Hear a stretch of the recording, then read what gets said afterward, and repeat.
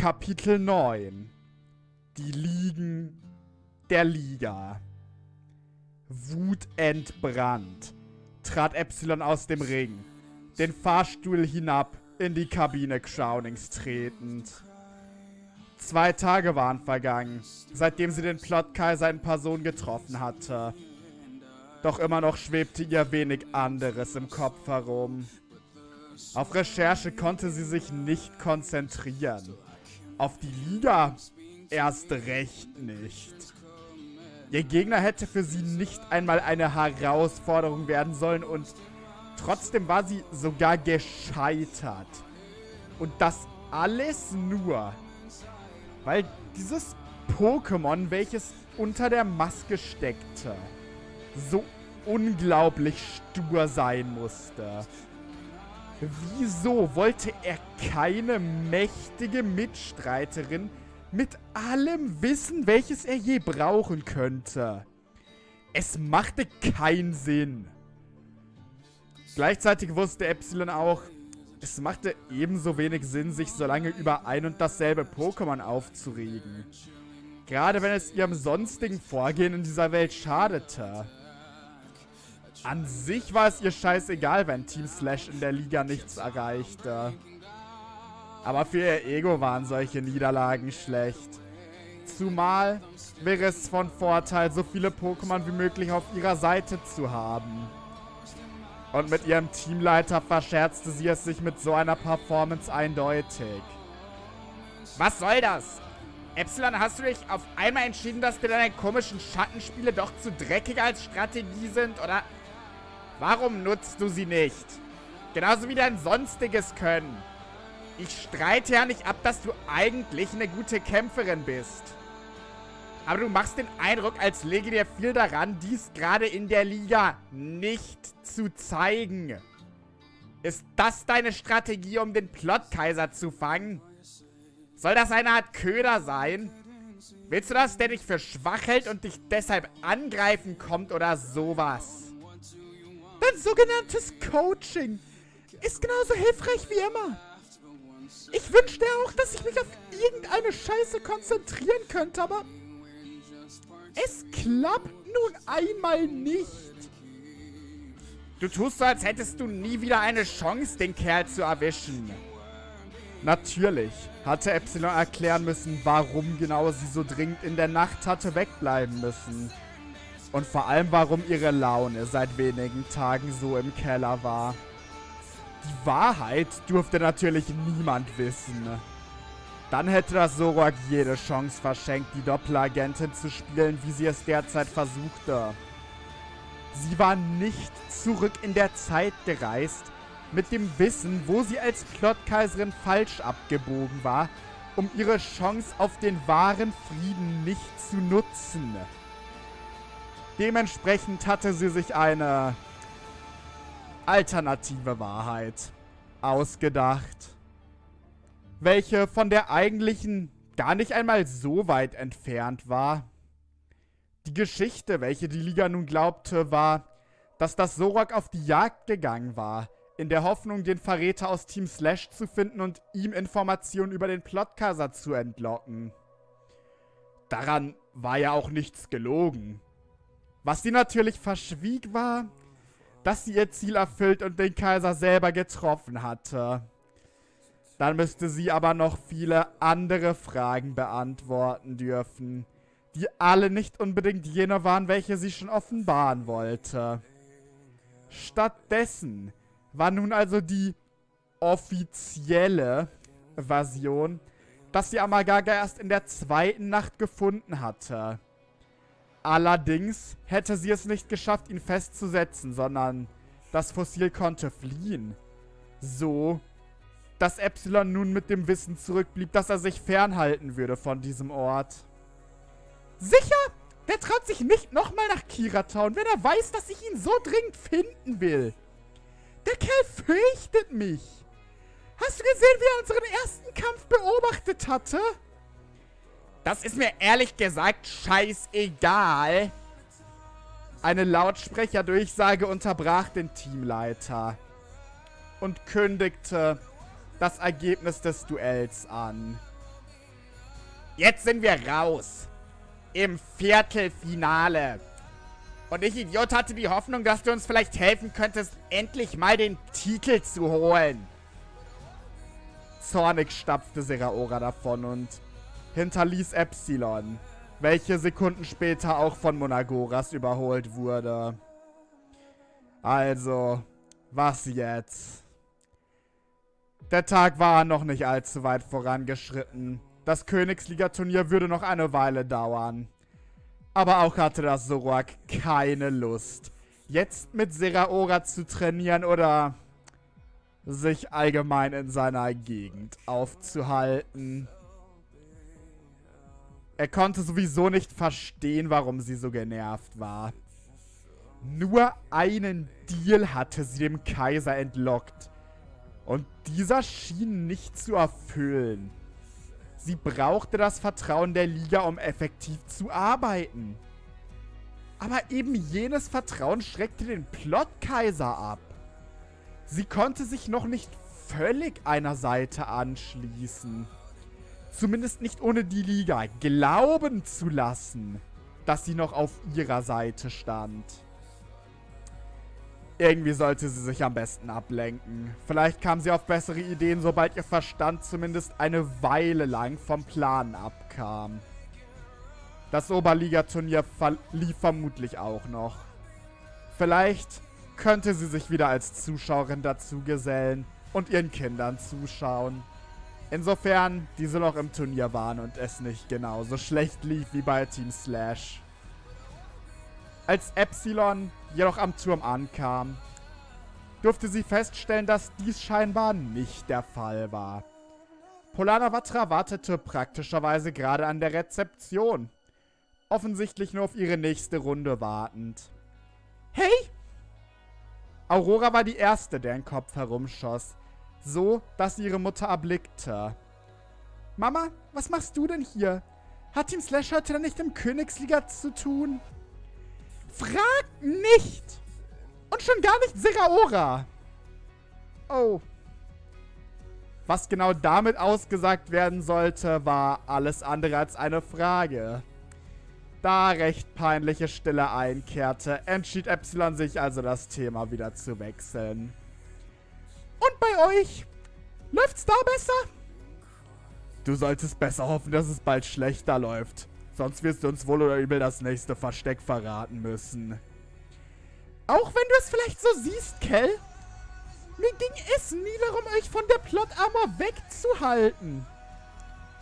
Aber ich schließe daraus, dass es recht gut für euch läuft. Gut ist schön. Aurora und ich waren zu zweit schon oft genug hier im Turnier und jetzt haben wir auch noch Kell. Diese ganze Aktion ist kaum mehr als ein Spaziergang.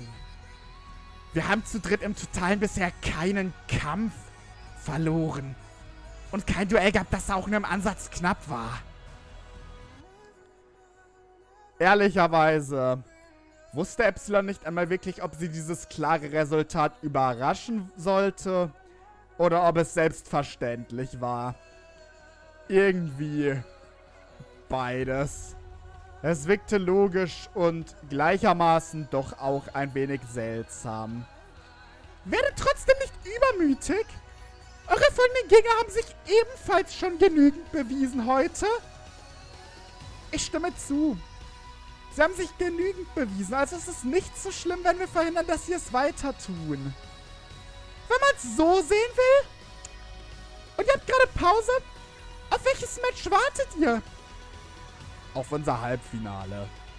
Das letzte Viertelfinale läuft gerade noch, also müssen wir warten. Sehr wahrscheinlich auf ein Team, das für uns sowieso keine Herausforderung werden dürfte. Serpri Royal, Taubos, Panzereron schreckliche Coverage gegen uns. Und noch dazu in einem deutlich schwächeren Run. Was aber nicht unbedingt eine Messlatte ist. Was das angeht, liegen wir haushoch vorne. Erste Regel der Kriegsführung.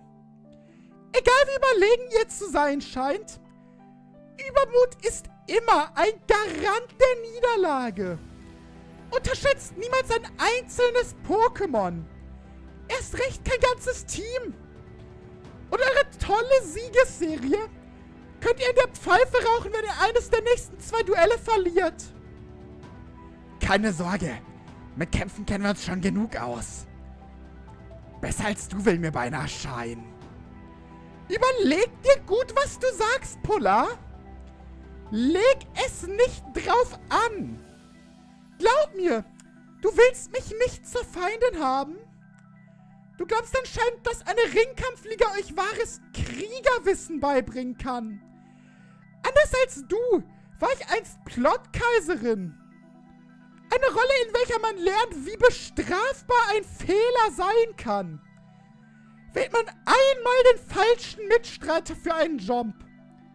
Also schickt man zum Beispiel Amagaga auf euch los, riskiert man alles. Wenn ich den Kerl erwischt hätte und ihm Informationen hätte entlocken können. Polar wirkte von dieser Rede eher gelangweilt als eingeschüchtert. Wohingegen Aurora und Kell etwas angespannter wirkten. Entspann dich. Was du, glaube ich, gerade etwas aus den Augen lässt, ist, dass es gerade tatsächlich um Ringkämpfe geht. Also unser Ringkampfwissen tatsächlich von größerem Nutzen als irgendwelches Kriegsverständnis. Trotzdem solltet ihr euch umgewöhnen. Die Liga ist der einzige Ort, an dem euch ja tatsächlich an ein Kriegsmindset gewöhnen könnt. Und das werdet ihr brauchen.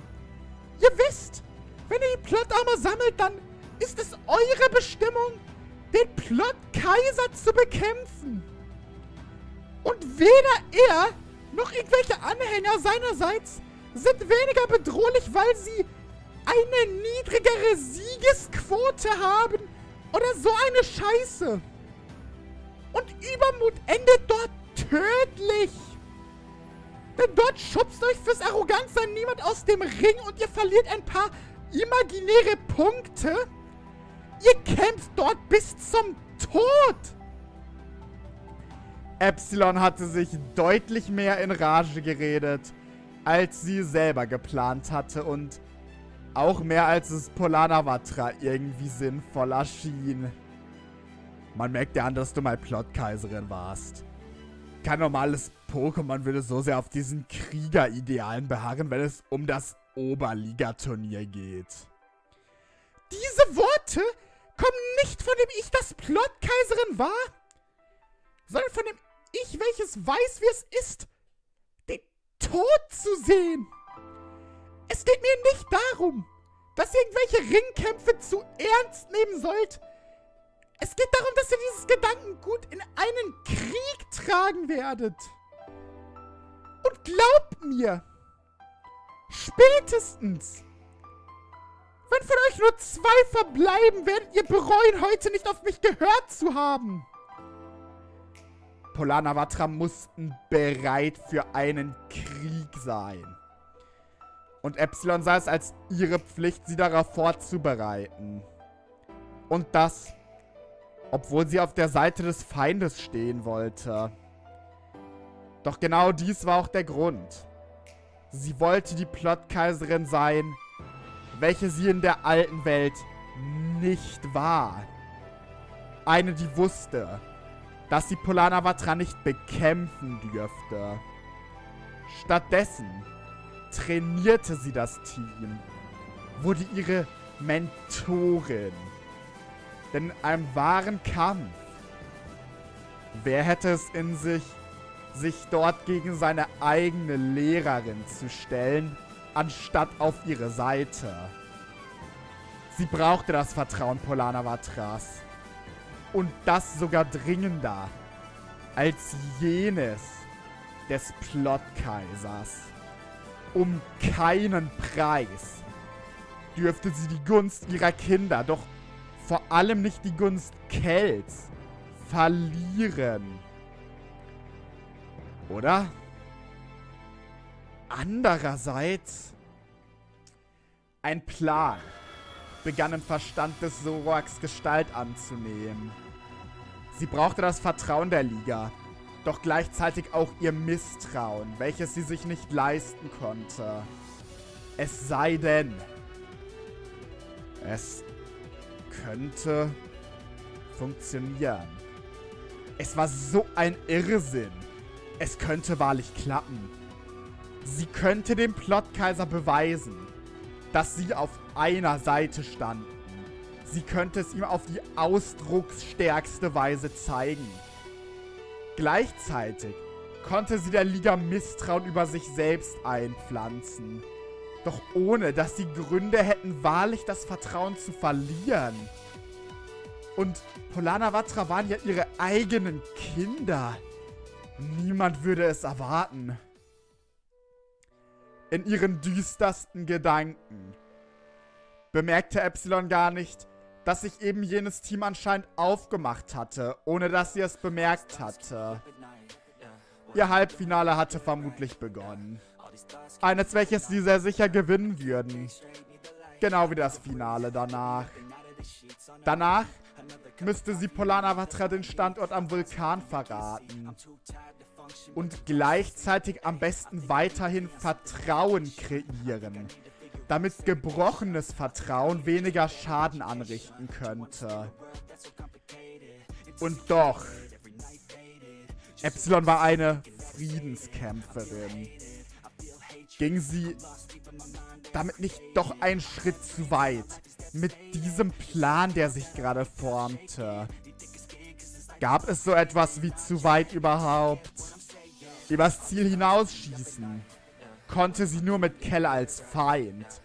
Alles andere, alles drumherum war möglich, wenn das Ziel es nur verlangte. Immer mehr nahm so ein Plan Form an. Begann als Funke im Zweifel. Doch dessen Effizienz die ehemalige Kaiserin zu spüren lernte. Doch bevor sie wirklich damit anfangen konnte, gab es anderes zu tun. Polana Vatra mussten auf jeden Fall den Weg zur Plot Armor finden. Und Warum sollte sie eigentlich nicht selber auch mitkommen? Die Saison war zu Ende. Siraora war wahrscheinlich froh, dass Zorak einige Tage loszuwerden. Aber gleichzeitig stand die Wette natürlich immer noch. Polana Vatra müsste zuerst dieses Turnier gewinnen. Erst jetzt fiel Epsilon überhaupt wieder ein, weshalb sie ursprünglich überhaupt hergekommen war. Nicht zum Plan oder Debattieren, Sie hat ihren Kindern doch zugucken wollen. Dafür war es beim Halbfinale inzwischen auf jeden Fall zu spät. Aber es gab sehr sicher noch eine Runde für das Trio. Also, eine kleine Pause. Und danach auf zu Schritt 1.